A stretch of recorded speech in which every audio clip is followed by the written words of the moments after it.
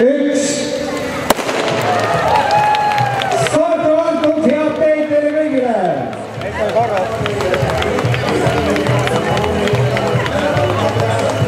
mobiilirakendus ja sealtkaudu maratoni käiku jälgida, et siis äh, teate ka täpselt planeerida, millal, millal siia Vabaduse väljakule jõuda, et äh, saaks ise võitjale kaasa elada tuleb juba ka käijaid, neid, kes on ilmselt äh, kõnniga vaheldumisi ja jooksjalu-distantsi äh, läbinud mõni hetk tagasi, kaks äh, siis soliidses eas prouad tulid finišisse